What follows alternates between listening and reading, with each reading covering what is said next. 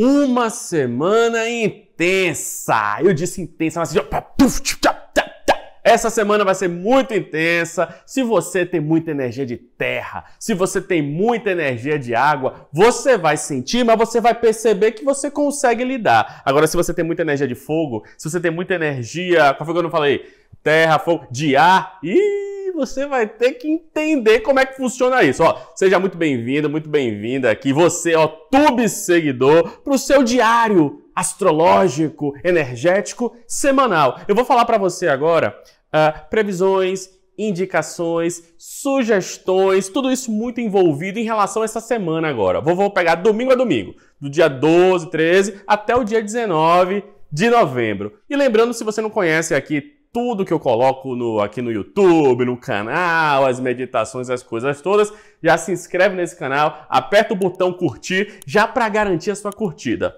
Ok? Meus amores, é o seguinte, essa semana vai ter lua nova. Para você ter uma ideia, tem muitas coisas fortes essa semana.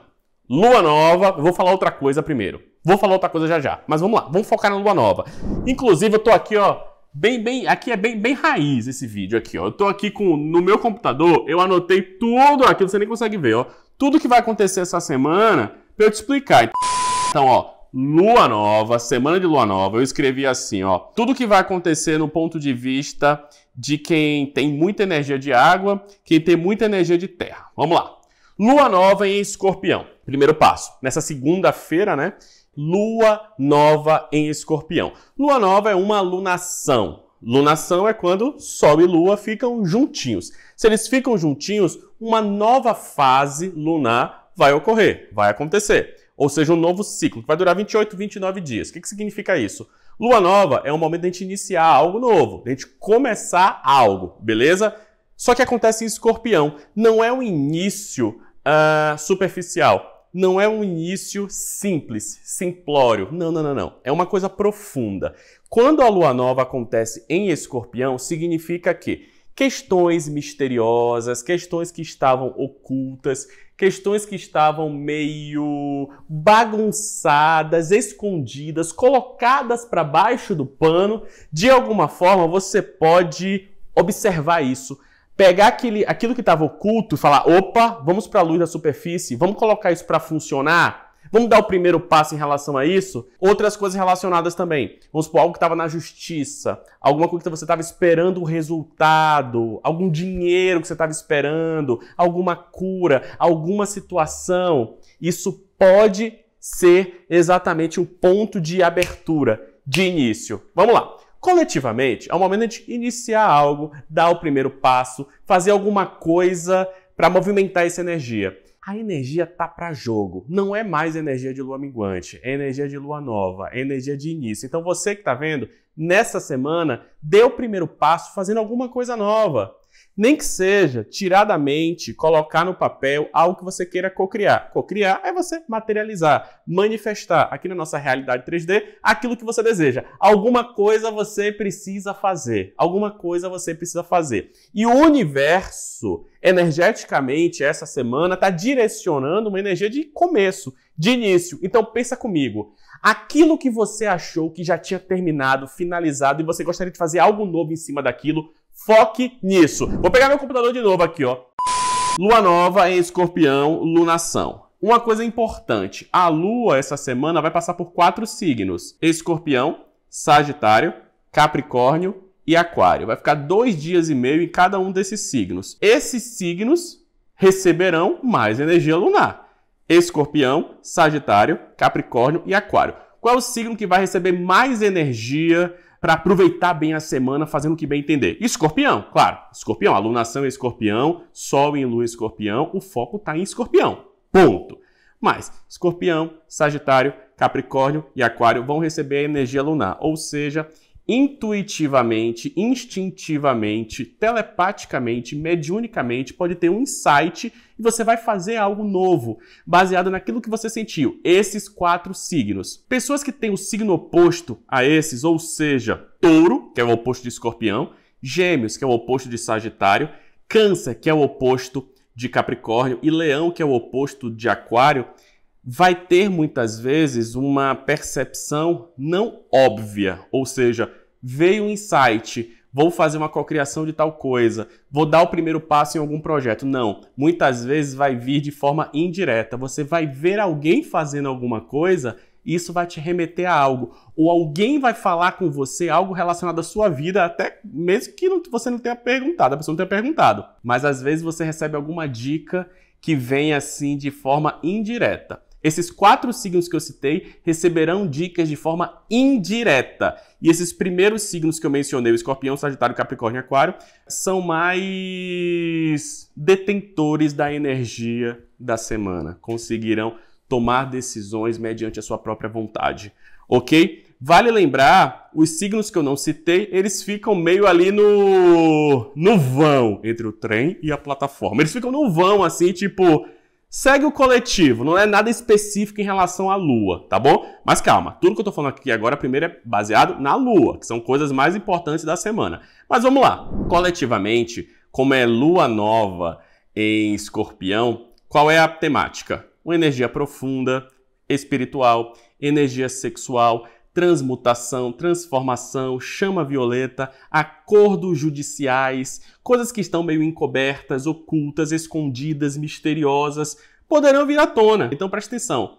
Não importa o teu signo agora. Esses temas que eu mencionei são temas que podem ser movimentados na sua vida. E outra coisa, por exemplo, quando eu falo de energia sexual, energia sexual, energia vital, energia espiritual, tá tudo no mesmo no mesmo balaio, tá tudo na mesma tubulação. Você pode utilizar essa energia para cocriação, ou mergulhar em tantra, ou mergulhar em assuntos relacionados com cura mediúnica. É uma energia de vou aproveitar a energia da semana e direcionar essa energia para iniciar algo novo a partir de Algo que eu, que eu achava que tinha sumido da minha vida e que agora eu percebo que não sumi. Eu tenho chance de fazer, uh, de aproveitar aquilo. Eu pensava que aquela minha, aquele meu dom, aquele meu projeto tinha morrido, tinha acabado. Escorpião tem relação com a morte metafórica também, né?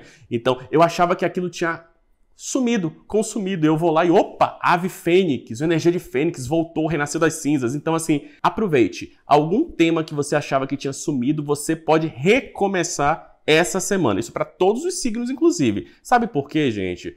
Porque essa energia direta, que eu falo assim, a Lua está passando por tais signos, uh, então os, esses signos vão receber mais energia. Maravilha! Mas mesmo que você não seja nenhum desses signos que eu mencionei, você tem todos os signos no seu mapa astral. É só você olhar qual setor está sendo aberto por signo, sabe? E aí você fala: opa, eu não sou de escorpião, ah, mas eu tenho escorpião na casa 2. Casa 2 é a casa do dinheiro. Então significa que se eu colocar energia para iniciar algo novo, algo que seja profundo, que mexa comigo, que não seja superficial, eu posso movimentar a energia do dinheiro. Yes! Isso mesmo! Você entendeu? A gente pode pensar das duas formas. É, outra coisa específica. Além dessa lua nova, durante essa semana, a gente vai ter alguns aspectos. Por exemplo, a energia de escorpião vai ficar ainda mais forte. Por quê?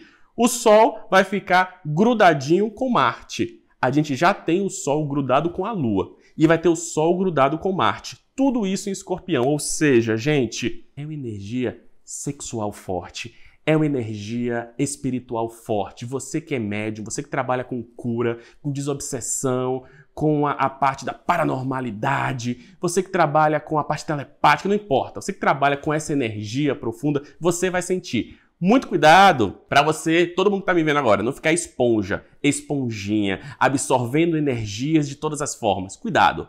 Segura a onda, faz limpeza energética. É importante que mesmo numa lua nova, você tenha os seus momentos de limpeza energética com a chama violeta. Isso ajuda. Visualizar a chama violeta vindo, vindo, vindo. Isso te ajuda nessa energia. É, esse Sol em conjunção com Marte e pegando a Lua também em Escorpião significa que a energia de Ares, você de Ares, vai sentir uma energia profunda.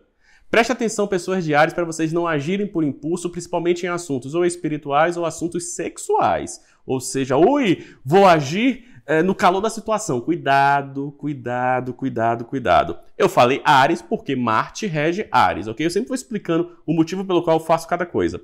A gente tem três pontinhos, três planetas em escorpião essa semana, né? O Sol com a Lua, que a Lua vai, vai entrar lá para fazer a Lua nova, e tem Marte. A gente tem dois planetas em peixes, Saturno e Netuno, ou seja, cinco planetas, se a gente parar para pensar, que Sol e Lua são luminares na astrologia, funciona como planeta. Cinco planetas em água, ou seja, é muita sensibilidade, é muita espiritualidade no ponto de vista sensível, mediúnico, intuição. Intuição vai estar floradíssima. E três planetas em Terra. Júpiter em touro, Urano em touro, Plutão em Capricórnio. O que, que significa isso? Olha só, gente. Não adianta você ter uma solidez na vida, uma, uma estrutura na vida, mas ao mesmo tempo você não essa estrutura, essa solidez com a sensibilidade, com a espiritualidade, com as possibilidades. O que eu quero dizer com isso? Não adianta você estar muito feliz na vida profissional, não dando a mínima para a vida amorosa, para o amor. Não adianta você só ficar namorando todo dia e não dar a mínima para a sua vida profissional, para outros setores da vida.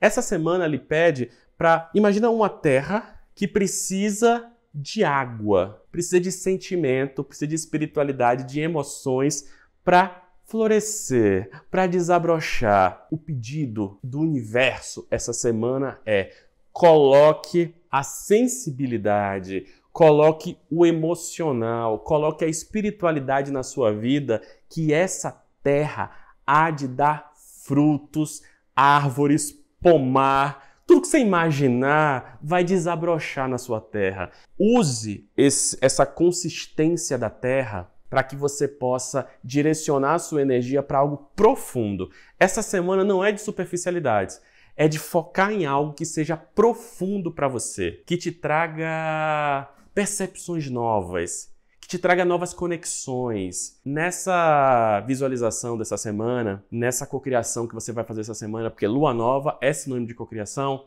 Visualize com riqueza de detalhes algo que você deseja muito em sua vida crescendo, expandindo, mas não pode ser nada superficial, senão não vai dar match com a energia. Tem que ser algo profundo, algo de alma, algo profundo, profundo, profundo. Você vai ver como as coisas dão certo quando a gente se conecta com a energia da semana. Então, ó, deste dia, de domingo a domingo, vamos fazer assim, de domingo a domingo, deste dia 12 de domingo, aí vai 13, 14, 15, até 19, o outro domingo, foca na profundidade e aproveita essa semana tão de água, tão escorpiana, para você entrar em contato com o escorpião que há em você. Não importa o seu signo, você tem escorpião no seu mapa astral. Você tem escorpião. Escreve aqui nos comentários onde é que está escorpião no seu mapa.